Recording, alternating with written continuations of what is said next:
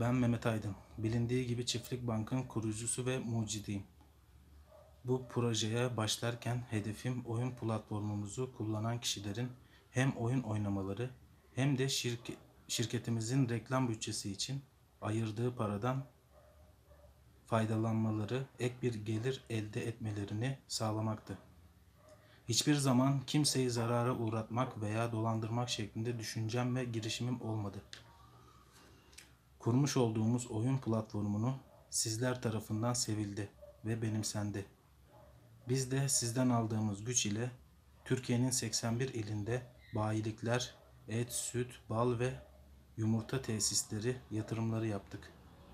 Ancak gelinen son süreçte şirketin çok fazla büyümesi, etrafındaki kötü niyetli insanların haksız kazançlar elde etmesi ve etmeye çalışmalarını şirketin büyüklüğünü büyüklüğü nedeniyle geç fark ettiğimden sizler gibi ben de mağdur oldum.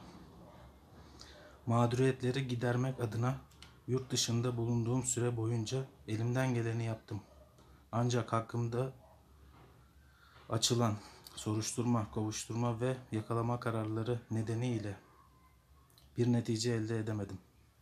Suçsuzluğumu ve mağduriyetimi kanıtlamak için kendi bir kendi hür e, irademle Türk yargısına teslim olacağım.